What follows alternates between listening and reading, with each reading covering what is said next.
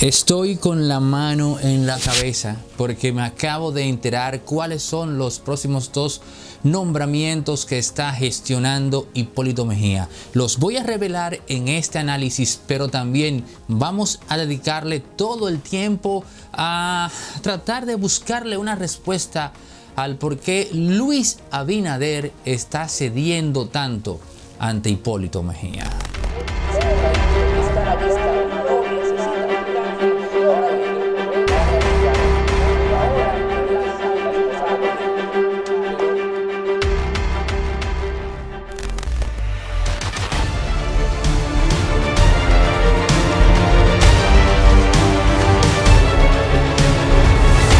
De desarrollar nuestros análisis, recordarte que si eres asiduo a la plataforma y aún no te has suscrito, lo hagas y actives la campanita. Ya más de 10.000 personas lo han hecho en los últimos 28 días, según las estadísticas de YouTube. Tenemos la meta de llegar a 50.000 y también un saludo a la gente de la diáspora dominicana a través de www.controlandoelegido.com, elegido con J, no con G, porque se refiere al barrio de Santiago. Miren, a veces uno se coge las cosas de relajo, como buen dominicano que uno es, que llevamos ese, esa facultad de cogernos las cosas eh, más serias a chercha a flor de piel. Ese acto colectivo forma parte de la dominicanidad.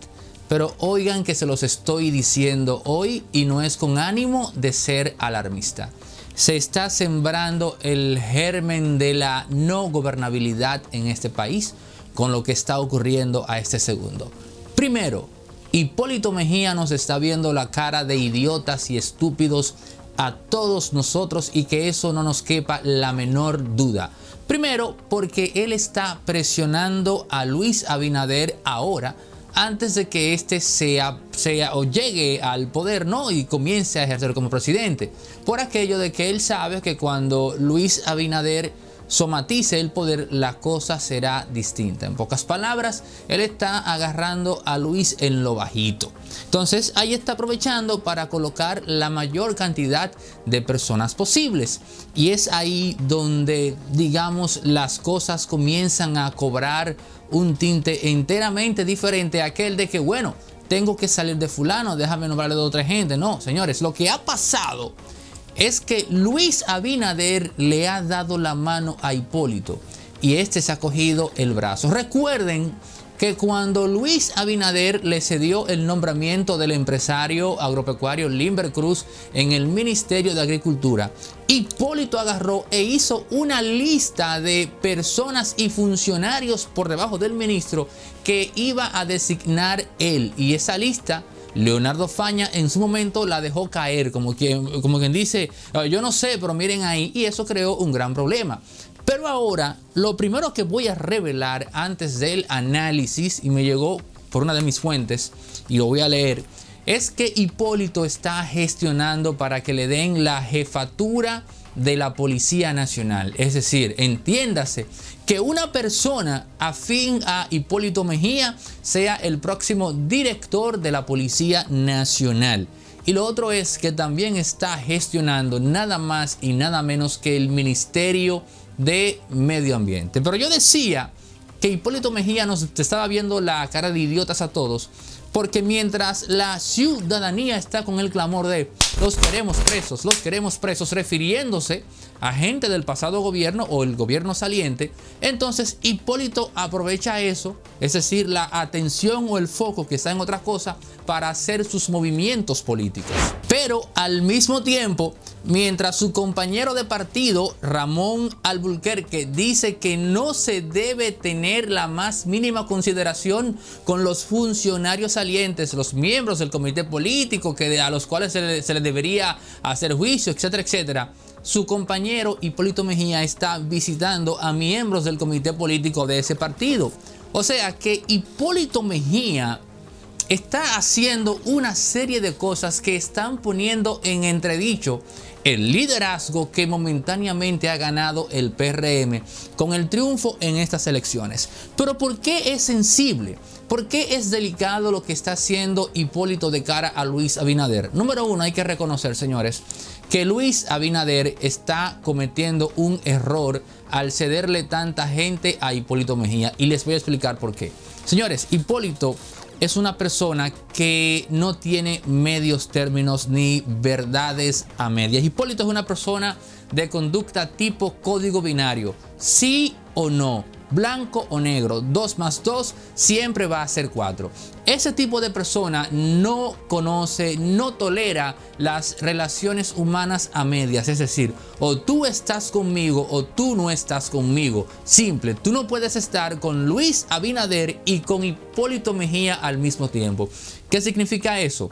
Que la gente que Hipólito Mejía logra posicionar en el Estado con la anuencia, el aval, la aprobación del presidente Luis Abinader, son personas que no le van a servir a Luis Abinader son personas que mentalmente hablando asumen que tienen que servirle a Hipólito sí o sí, dado el comportamiento que ya he descrito de Hipólito Mejía, que eso está a la vista de todos. Es una persona dominante, es una persona que no acepta, por así decir, eh, divagueo, no, no, no. Blanco o negro, sí o no. Ese es Hipólito Mejía. Entonces, cuando tú permites que gente allegada a ese tipo de personas llegue al poder, Tú sabes muy bien que esas personas no van a despachar para ti que eres el presidente. Esas personas ya llegan a esos cargos asumiendo que a quien tienen que despacharle, a quien tienen que rendirle cuenta es a Hipólito Mejía. Y por eso hablé de una crisis de gobernabilidad, porque no es posible que en un país tú tengas un gabinete alterno siendo presidente de la República Dominicana. Señores, Luis Abinader tiene que darse un paseíto o refrescar, porque imagino que él lo sabe, la historia dominicana. Tiene que leerse el capítulo de Horacio Vázquez y Juan Isidro Jiménez, ¿no? Porque lo que él está haciendo ahora con Hipólito y que no le quepa a ustedes la duda es sembrando un gobierno alterno. Simple. Ahora bien, usted se preguntará cómo es posible que Luis esté permitiendo eso. Yo tengo una hipótesis muy delicada y de antemano digo que quiero estar equivocado, ¿no? Antes de lo que voy a plantear porque es muy sensible. Señores, puede ser, existe la posibilidad de que en términos psicológicos Luis Abinader sienta que no está preparado para ejercer el poder y lo que esté haciendo no sea más que en términos gerenciales delegar en la persona más cerca que él entiende, que él infiere que puede ejercer ese poder, en este caso Hipólito Mejía. Sería una explicación un tanto extrema a lo que está pasando, pero es que lo que está haciendo, ustedes se imaginan que Luis Abinader le dé también el Ministerio de Medio Ambiente y luego la jefatura de la policía a Hipólito Mejía. Señores, no hay un lugar más idóneo para desestabilizar un gobierno, el que sea, que no sea a través de la jefatura de la policía. Usted sabe cómo es que se quitan y se ponen jefe de la policía aquí. O un individuo que pretende o anhela ser jefe de la policía arma una banda paramilitar, si se quiere, de policías que salen a darle tiro a la gente en la calle a diestra y siniestra. Y el presidente, ante un estado de desasosiego tal, termina simplemente investigando. Él no castiga al tipo que montó eso, no. Él termina investigando para que ustedes vean cómo son las cosas. ¿Quién es que quiere ser jefe de la policía? Y a ese lo pone para salir de esas estrellas. Usted nunca se ha preguntado por qué en República Dominicana los, eh, digamos, los, accidentes de policía y civil, esos tiros así que se zafan, son como sistemáticos cada cierto tiempo, cada dos años, tres años. Es por eso. Porque hay un individuo que quiere ser jefe de la policía y arma ese show sistemático hasta que finalmente lo ponen a él. Así es que funciona eso. Y algo similar puede hacer cualquier persona que en algún punto quiera desestabilizar un gobierno. Yo no sé si Luis Abinader va a ceder en eso. Voy a, voy a, leer el nombre que me mandó un informante aquí de quién podría ser el próximo jefe de la policía o director a instancia de los cabildeos de Hipólito Mejía. Voy a, voy a buscar el nombre aquí. Dice, vamos a ver, el, aquí me mandó mi fuente. un tal general Pujol o Pujols podría ser el próximo jefe de la policía. Este señor dice que es, quien comanda el este con asiento en San Pedro. Esa información, yo tenía otra cosa que hacer en este análisis, pero me llegó esta información y eso me transformó. Pero que le van a dar el jefe de la policía también a Hipólito Mejía. Honestamente, no puede ser. Sería un gran error de Luis Abinader. Estaría poniendo la gobernabilidad del país en manos de Hipólito. Amén de que ya este último tiene un gabinete alterno. Señores, pero ustedes saben lo que está diciendo la gente en la calle. Lo que se está palabreando, rumoreando. Que Hipólito está buscando designar gente en ministerios claves porque ya en esos ministerios en específico, él habló y acordó con el funcionario X del PLD que se va para poner uno de él para que le tape cualquier escándalo o maco que aparezca ahí. Yo no sé si eso es cierto, puede ser que sí, puede ser que no, pero eso es lo que la gente está diciendo ya en la calle.